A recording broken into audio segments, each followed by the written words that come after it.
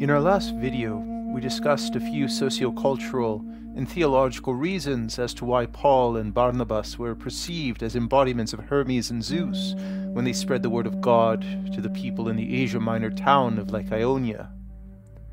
In this video, I suggest we dig a little deeper and explore a more mystical and esoteric explanation for the phenomena of theophanies and apparitions.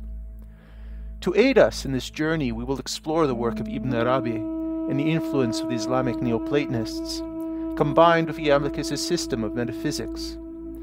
I believe the work of Henry Corbin is integral to understanding the nature of prohodos, procession, and epistrophe, return. A deeper, more subtle reading would be invaluable for those who seek to engage in the hieratic art of theurgy. We will finally explore Corbin's suggestion that Docetism should be viewed not as a particular doctrine, but as a spiritual and psychological orientation towards theophanies and epiphanies. Generally, Docetism is the belief that Jesus Christ's body was either absent or merely an apparition. Generally, the criticism of Docetism by Catholic, Protestant, and Orthodox believers implies that this assertion is suggesting that Christ's body was merely an illusion. But as we have discussed in previous videos, an illusion or an idola or an apparition is a psychic image, and it still participates in the real.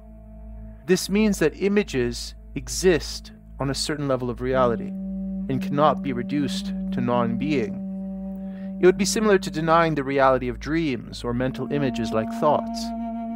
A helpful way of understanding and connecting both the visible and invisible realms is through the observation of images. All images exist within the substrate of the psyche. Whether they arise from there or enter the psyche is a whole other topic. But countless thousand images enter your mind and are produced from your imagination are invisible, but no less tangible, for they exist in potential. An image is like a seed that can take hold and grow in the visible realm if a certain level of awareness and will is attached to it, which is why ideas are so powerful. They are invisible images that can come to life and wreak havoc and destruction, or provide help and antidotes to our suffering. But what is perhaps even more radical of an idea is that images become concretized. You look out your window and see an apartment building, you see people walking in the streets below, pets being taken for walks, trees lining the sidewalks, the sun in the sky, and clouds are formlessly drifting by. These are all images, albeit in differing levels of manifestation and materiality. Anything you can perceive through your senses, including your imaginative perception, is connected in a long series of chains to levels of images. In theurgy, these processions or seria form correspondences through each ontological level of the hierarchy of being to be ultimately led by this or that particular god or goddess. But how does this relate to Christ? In Charles M. Stang's excellent book entitled Our Divine Double, he analyzes the apocryphal text of the Gospel of Thomas. In one section, he breaks down a very clear excerpt regarding the differentiation between likeness and image. Jesus said, When you see your likeness, Aine, you rejoice. But when you see your images, Ikon, which came into being before you, and which neither die or become manifest, how much more will you have to bear? Stang identifies this distinction Jesus is making based on Genesis 1 to 6. Then God said, Let us make man in our image, after our likeness. He then interprets the statement very similarly to how Henry Corbin and the Islamic Neoplatonists would have understood theophanic emanation. The understanding is that each one of us has an image that pre exists us and in fact has brought us into being. Fundamentally, through the soul's descent into matter, Iamblichus would add, the truth of the matter becomes occluded, and the soul becomes embodied with the belief that it is the sole operator in the cosmic schema, and hence experiences existential alienation. But the soul, as Ibn Arabi along with Iamblichus would remind us, is not a self contained totality.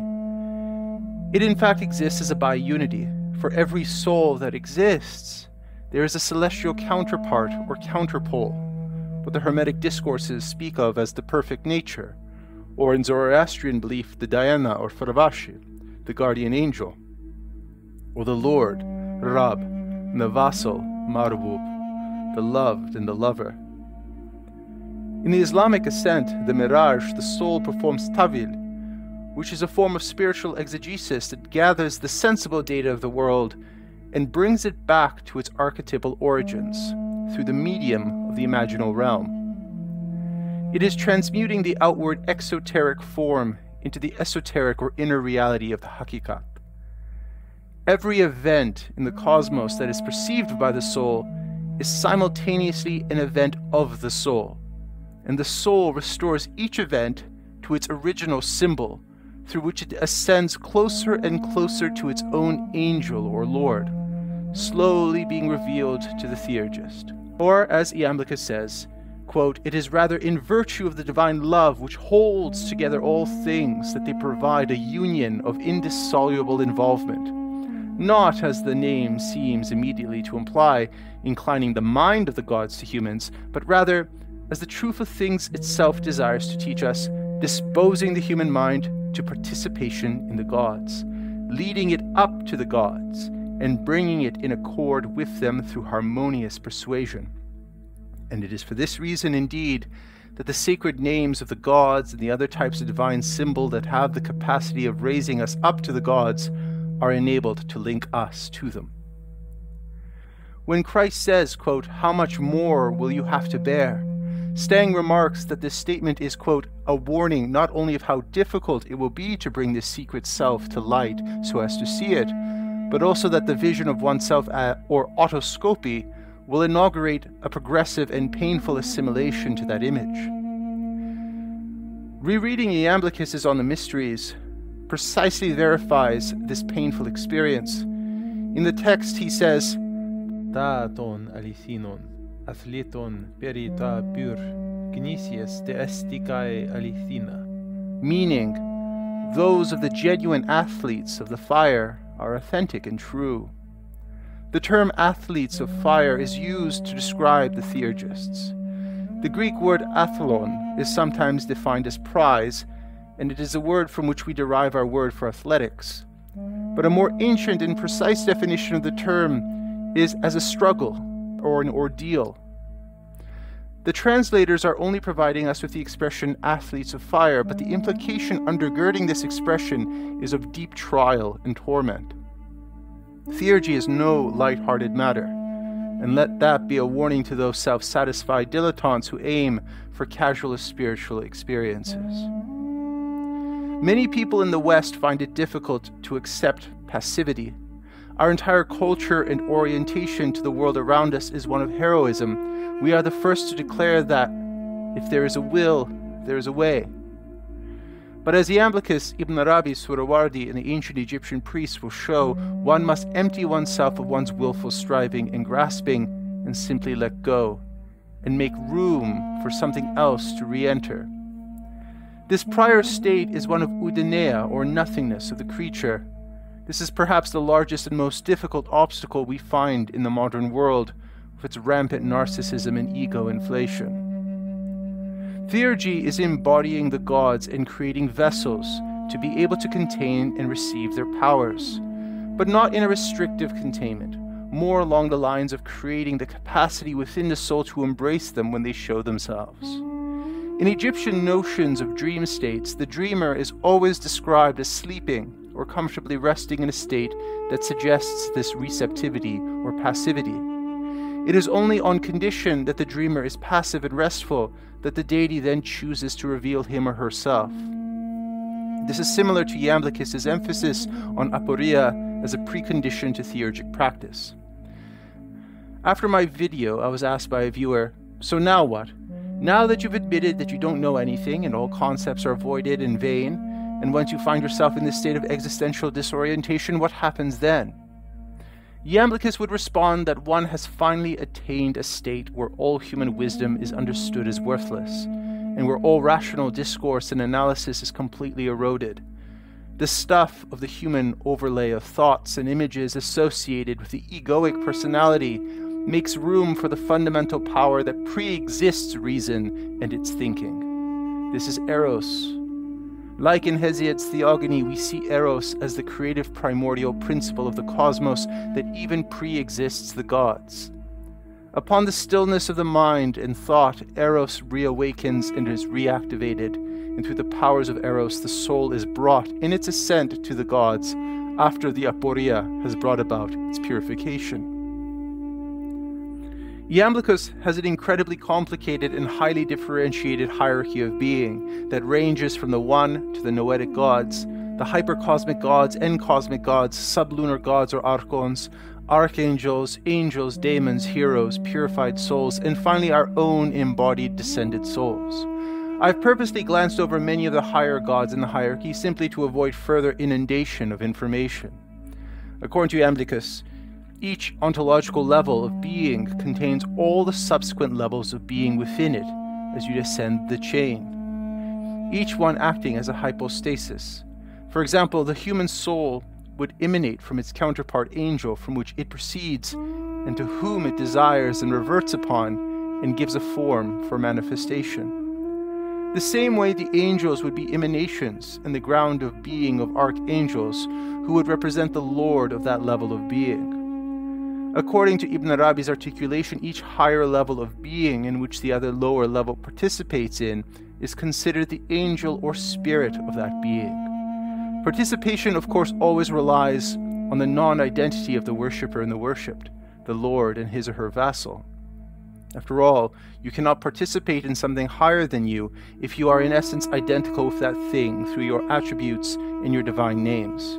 Which is why Ibn Arabi, along with Iamblichus, would have scoffed at Plotinus' assertion that he achieved a complete kenosis at least four occasions during his lifetime. What Plotinus has achieved is not union with the One, but the Lord of his being, his celestial pole. In fact, in late Neoplatonism, with Damascius, we come to the realization that the One does not in fact strictly exist, but is only perceived through its unifying energia.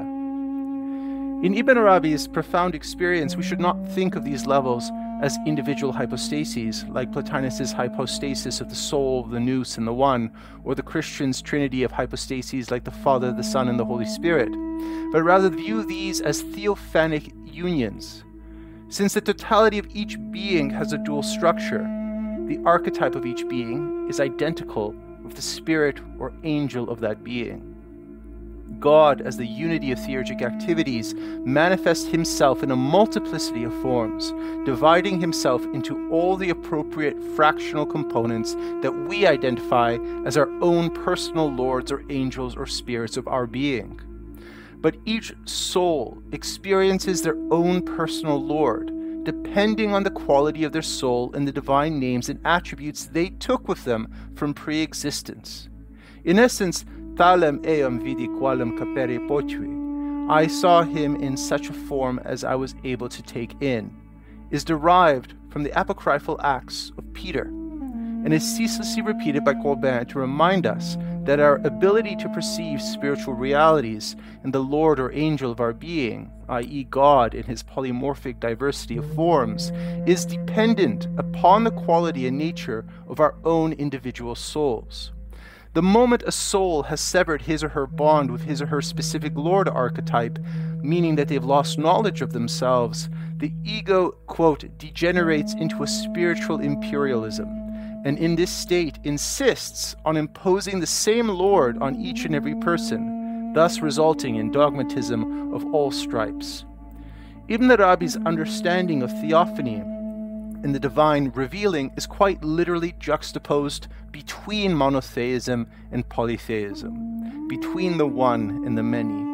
And any assertion falling on one side of the polarity over the other tips the scales and is therefore untrue. His metaphysics results in the tension of opposites, or the coincidentia oppositorum. Although Iamblichus was not laboring under the Quran and a predominantly monotheistic worldview, he does also come to many of the same conclusions, especially the notion of the soul as the site of the event of Epiphany, and that the soul embraces the contrarieties of unity and multiplicity, movement and stasis, and every form of coincidentia oppositorum. What is alarming about viewing the world through this theophanic vision of a bi unity as a relationship between the soul and his Lord or God is that incarnation in Noekisis is not necessary on a physical level. We did not need to have spilled countless millions of pages of ink trying to resolve how the incarnation makes sense, how God took form in the flesh of Jesus Christ. It now becomes clear that the creature is what is manifested of the divine being. And yet, the reciprocal relationship is that the divine being is given form in the material world through the creature's imaginal expression and movement toward it. It is through the divine primordial imagination that epiphanies emerge and reveal themselves. And it is precisely through the true imagination residing within each person that we can perceive these epiphanies or theophanies in their true light. This is what it means to pray. As you sit or kneel or lay down to pray, you are enacting one side of the prayer, to which God or your Lord Angel is the other side praying simultaneously in response to form the totality of that act in a circular manner, thus re establishing the totality of your being. The bi-unity that underlies this theophanic prayer actually recreates the cosmos each micro millisecond, an increment of time so infinitesimally small that the human cannot detect it. It is precisely in this almost non existent point where being changes to becoming, or the same changes to the different, that this creation and simultaneous destruction takes place. What I am saying is that the world is simultaneously destroyed and renewed every imperceptible moment, because everything, as Heraclitus once said, changes. His quote specifically is that, quote, the only constant in life is change. In fact, this calls into question our entire notion of causality. This is an enormous topic, but to be brief, let us say that one action in the material realm does not cause an effect in another part of it. The intermediary always exists through the transcendental archetype. Whatever occurs in the material or sensible world has a correspondence with that event which pre existed it in actuality on a higher level of being. This is how we are to understand synchronicities as a causal phenomena. The modern consciousness has managed to make a very profound hermetic statement into something rather banal, so it is important to revisit banal propositions once in a while and reimagine them and imbue them with the numinosity they deserve. Quod est superius est sicut quod inferius, et quod inferius est sicut quod est superius. That which is above is like to that which is below, and that which is below is like to that which is above. Corbin wants us to emphasize that that which is above is like to that which is below. The word like is critical here. This world is not simply a duplication of the other world, it is like it. There is some fundamental change in its ousia, just as each microsecond we are dying and being reborn, and the images seem to us fixed and constant, so that we assume there is a continuity of images. But our soul is not fully identical to the image we represented half a millisecond ago, but we are certainly like it. Iamblichus would no doubt agree because he did not view the soul as static or constant, even in its essence. He believed upon descent into the material world contra Plotinus that the soul undergoes a change, both in its substance and its essence, and can also change in these qualities throughout its embodied existence. A part of the soul does not remain undescended in the noetic realm in a state of unchangeability and perfection, as Plotinus asserts. Henry Corbin relates the following in the Acts of Peter, a book belonging to those so called apocryphal collections which were particularly esteemed and meditated upon in Gnostic and Manichaean circles, we read a narrative that provides an exemplary illustration of theophanic vision. Before a gathering of people, the Apostle Peter refers to the scene of the transfiguration that he had witnessed on Mount Tabor. And essentially, all he can say is this Talem eam vidi qualem capere potui. I saw him in such a form as I was able to take in. Now, in this gathering, there are several widows afflicted at once with physical blindness and incredulity of heart. The apostle speaks to them in a tone of urgency Perceive in your mind that which ye see not with your eyes. The assemblage begins to pray, and thereupon the hall is filled with a resplendent light. It does not resemble the light of day, but is an ineffable, invisible light, such as no man can describe. And this radiant, invisible light shines into the eyes of these women, who alone are standing in the midst of the prostrate assemblage. Afterward, when they are asked what they have seen, some have seen an old man, others a youth, still others a little child who lightly touched their eyes and made them open. Each one has seen, in a different form, appropriate to the capacity of her being, each one may say, Talem eam vidi qualem capere potui. In defense of the docetic perspective, Corbin criticizes historical realism for its critique of docetism, which he says, quote, accuses docetism of reducing facts to appearances, without suspecting that appearance is raised to the level of apparition or upon what stage spiritual facts are in reality enacted. The realization is that docetism does not reduce reality to a mere appearance, but makes reality, quote, transparent to the transcendent meaning manifested in it. Take care for now.